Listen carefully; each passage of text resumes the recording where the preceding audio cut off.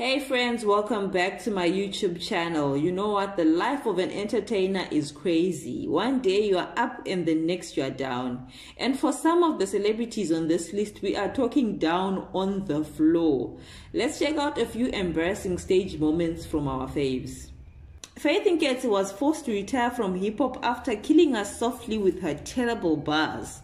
Her most iconic and worst performance was when she performed one of her songs for a crowd in 2020.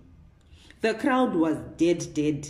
Like most of them were just looking at her, trying to figure out what was going on, while the others were actually looking for a way out of the venue. But you, poor girl, she soldiered on and finished the song. Maybe if she had twerked instead. But I, I blame Pori for this one.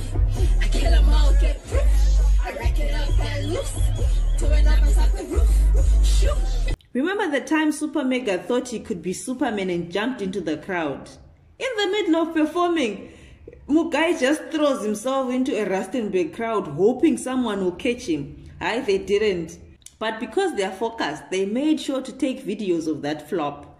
What kills me is how he continued to sing even while he was lying on the ground. But you know what? The show must go on because people came for the performance. But also, hey, Rustenburg people, what was that? Yo.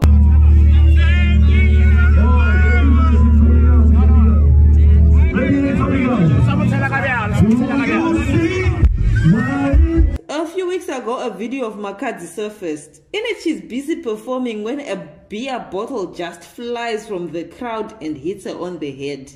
People are wicked, so you'll pay money to go and see an artist just so that you can injure them. But you know what? I loved how she reacted. She just stopped singing, said goodbye, and left. Because clearly they were not there to enjoy her music. They can entertain themselves. One of Mzansi's biggest dancers, Kamo Mphela, jumped on stage for a mere five seconds, saying Udlala Kamnandi and ran off. Only to find out she had actually torn her pants before she could even perform. Yikes. Fast forward a few weeks later, she rushed onto the Idol's SA stage, stumbles and falls. But let me tell you, it's her getting up and continuing like nothing happened for me. Queen things, baby girl. Emtee Wabantu, one minute is performing and the next is down.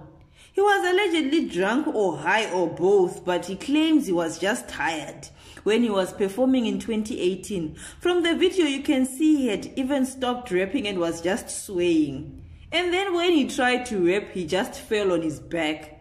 But because they don't call him Die Hard for nothing, he came back up and tried to continue with his performance. Yo, I being a fan, it's a hard job sometimes. One person who will not begazela any nonsense while performing is Kelly Khumalo. In 2019, EFF booked Kelly for a gig and she just quit after only two songs. I don't blame her though. The crowd started chanting Senzo Meyiwa's name and she was like, you think I'm here for that? Then she stormed off. I get that Senzo Meyiwa deserves to get justice, but bullying Kelly Khumalo will not change anything. What do you think? Mlindo the vocalist's own embarrassing moment involved him falling while performing in Sosha. He had to be carried off stage on someone's back. But the explanations, wild. While some said he was drunk, a male fan admitted that Mlindo had accepted a spiked drink from the crowd. He himself he later came out and apologized for the incident and claimed that he fell as a result of a knee injury. He even returned to the stage in crutches just to make his story more believable. But in spite of all these embarrassing moments, I love that all of these celebrities got up and kept pushing because ah, one, they need the money and two, it's their job. There's no other way. Well, we've come to the end of the video and if you like this type of content, please consider subscribing and sharing. Bye.